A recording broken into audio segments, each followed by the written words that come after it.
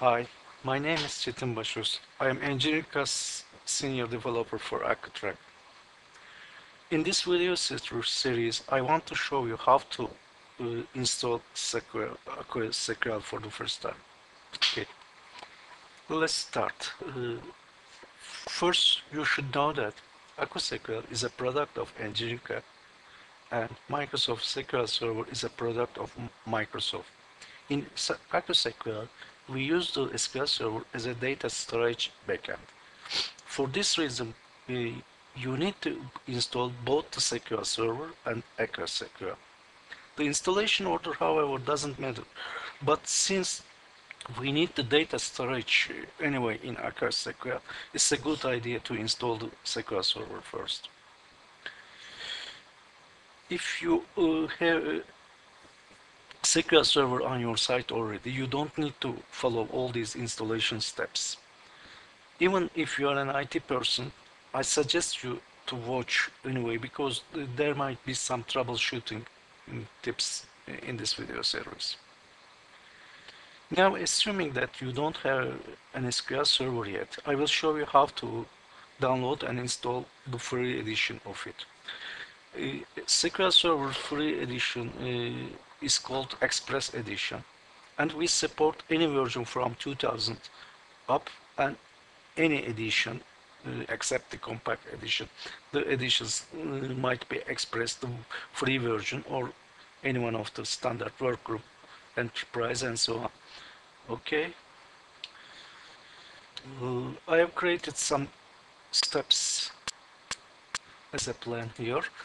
The first step is to download SQL Server Express from www.microsoft.com uh, Express database. When you go to that address, you will see that uh, SQL Server latest version, uh, Express version, uh, is already there for you to download.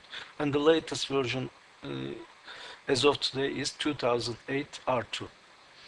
Depending on your operating system, choose 32 or 64-bit to download and get the free Express version. I have already uh, done the uh, downloading uh, part of this step and in my downs folder I have a series of files ready to be installed here I have uh, one of them. This this one is the 2005 uh, Express editions download, and I have also 2008 uh, installation uh, file. I will install both of them. Uh, I'm going to do that like that because uh, we support 2005, as I said before, and there are slight differences in the installation of 2005 and 8. So I'm going to do install both of them. You can do that, by the way. Okay. Let's start with 2005 installation. Run. And it is going to create some setup files. I accept the licensing terms, click next.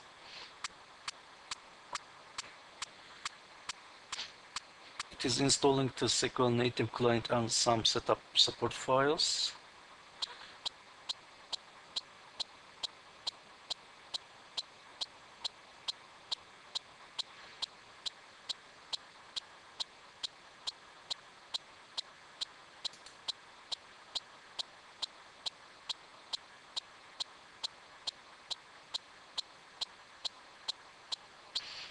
I always forget clicking install there, by the way. Uh, it waits for you to click install. So you click next.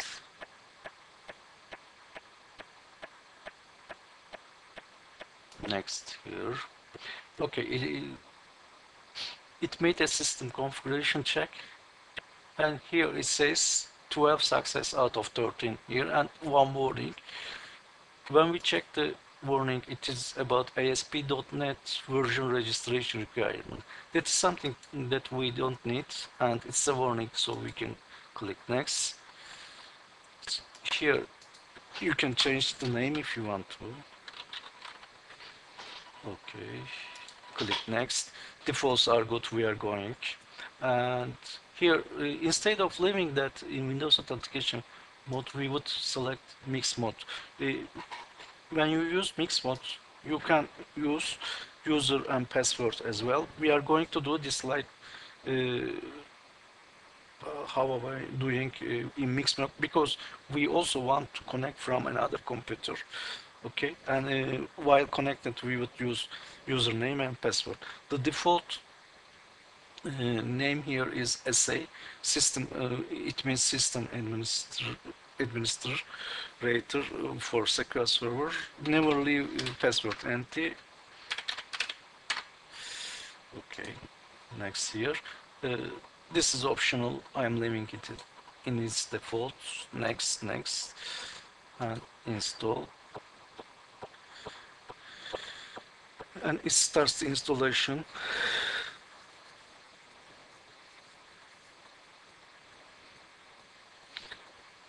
while it is installing. Let me talk about the other steps.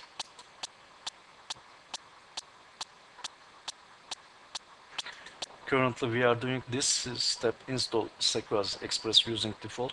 Uh, by the way uh, the SQL Express version installs with a name SQL Express okay? Uh, in the next uh, after that one completes as a next step we would also install SQL Express 2008 and there we would name it SQL Express 2008 okay? They can exist side by side. And uh, after doing that leaving uh, them at their default we would uh, install AccuSQL okay? It is completed. We click next and finish. Okay. We have done this one. Now uh, let's go and install 2008 also. It's a little different as you will see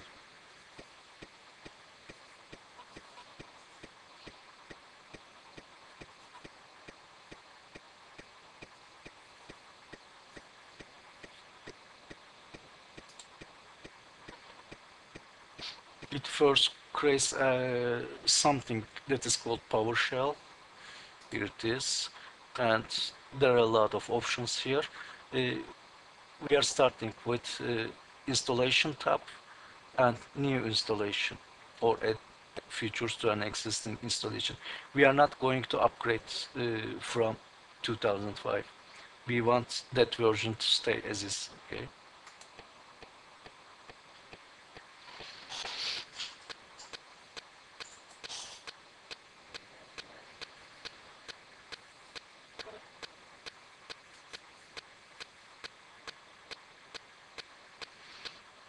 Accept the license terms and click next. It is installing setup support files.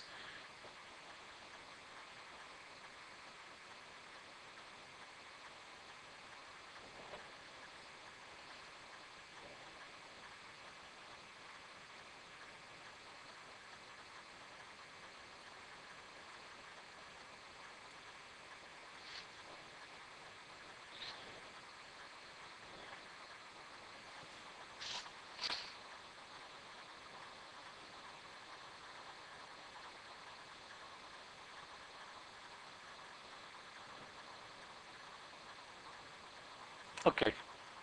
Now here uh, the defaults are good, all selected. So I click next.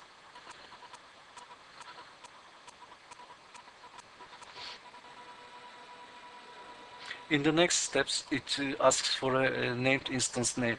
Uh, it does that because we already have a named instance of 2005 named SQL Express and uh, as we the, did here uh, in the steps. We would name this SQL Express 2008.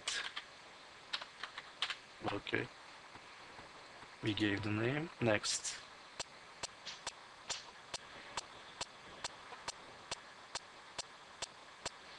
next okay.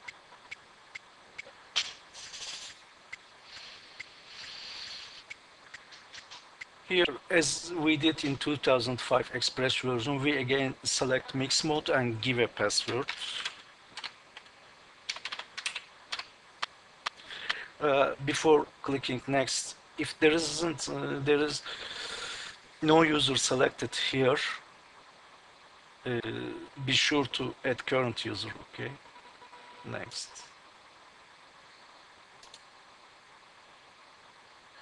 And it is now installing the files.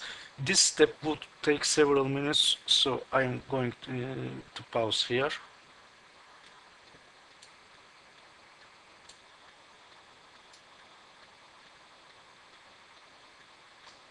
Okay, so our installation is completed successfully. So we close this one and we close this one. So we completed step one and two installing uh, SQL Express.